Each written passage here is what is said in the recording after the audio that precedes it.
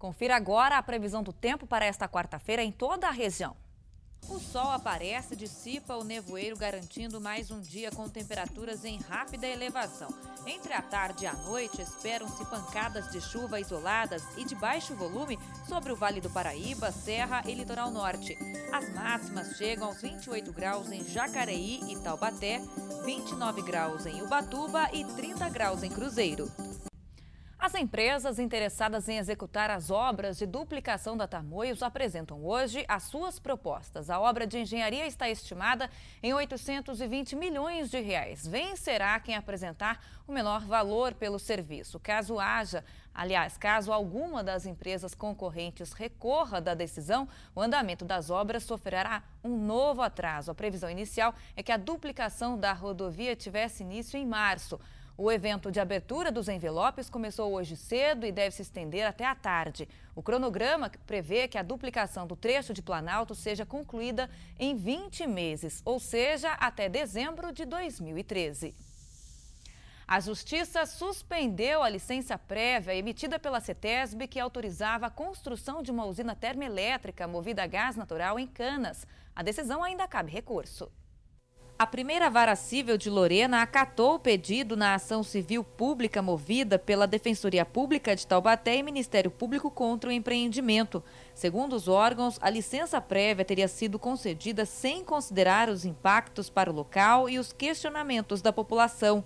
Com investimentos de cerca de um bilhão de reais, a AES Tietê, responsável pelo projeto, quer colocar a termoelétrica de Canas em operação em 2016.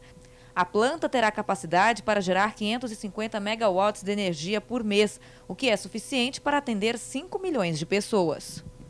A assessoria de imprensa da STET foi procurada pela nossa reportagem para comentar o assunto, mas até o fechamento desta edição não retornou às ligações. Os vereadores de Taubaté aprovaram o novo Código de Administração da Unital, a Universidade de Taubaté. Com isso, servidores e professores terão benefícios como aumento salarial a cada cinco anos. A reportagem é de Brisa Albuquerque. O novo Código de Administração da Unital amplia a política salarial dos cerca de 700 servidores da universidade. A partir de agora, os funcionários serão beneficiados com a progressão dos recebimentos por tempo de serviço e também por meio da avaliação do desempenho. A cada ano do servidor, automaticamente ele incorpora o seu vencimento 2% de aumento. Essa é a progressão é, por tempo de serviço.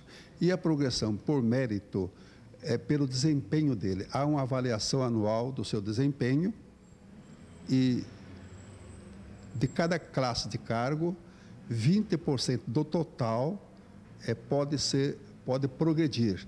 Quer dizer, nesta progressão dos 20% das pessoas que ocupam aquele cargo, elas fazem jus a 5% de aumento salarial, a cada cinco anos, naturalmente. Né? Então, uma pessoa que permanece na universidade há 30 anos, ela tem a possibilidade não a certeza, a possibilidade de ter seis promoções por mérito. O novo código da Unital fixa a jornada de trabalho dos assistentes sociais, fonoaudiólogos, psicólogos e técnicos em enfermagem em 30 horas. Nenhum funcionário receberá menos que um salário mínimo. A universidade é uma autarquia administrada indiretamente pela Prefeitura de Taubaté. O orçamento é exclusivo do pagamento das mensalidades dos alunos. Hoje, a Unital conta com 11.500 estudantes. Uma reivindicação dos alunos da Unital é a redução do valor das mensalidades. 25% dos estudantes estão inadimplentes. Para tentar diminuir esse déficit no orçamento, a universidade colocou o nome desses alunos no serviço de proteção ao crédito. Nos últimos dois anos teve um aumento de 8%, depois de 4,5%. Então, no total, foi um aumento de 12,5%. Então, é um valor que tem certas, certos cursos que já são caros, quando você aumenta 12,5%, é, isso aí acaba num montante final muito alto. E, e os alunos não estão vendo essa volta, não, não se vê a questão de qualidade, existe muitos professores saindo da universidade, entendeu? Professores de boa qualidade que saem para ir para uma federal, para uma estadual, ou até para uma particular ganhar mais. entendeu? Ele está no direito dele de procurar um, um melhor serviço. Existe campos na universidade onde tem a infraestrutura, né? tem situações que estão precárias. Então, a gente recebe muita reclamação do aluno que ele não entende o porquê que se paga tão alto e às vezes acaba não tendo um retorno. O presidente do Diretório dos Estudantes afirma que não participou das discussões do novo Código de Administração da Unital. O representante da reitoria adianta que não haverá redução do valor das mensalidades. E nós temos que pagar professores, servidores, é, a infraestrutura dos prédios, luz, água. Então, nós vivemos com as mensalidades dos alunos. Não temos nenhuma verba de fora que possa acrescentar a esse orçamento, a essa receita. Então, assim que a receita entra, nós temos essas despesas. E essas despesas é, são constantes e tendem sempre a aumentar.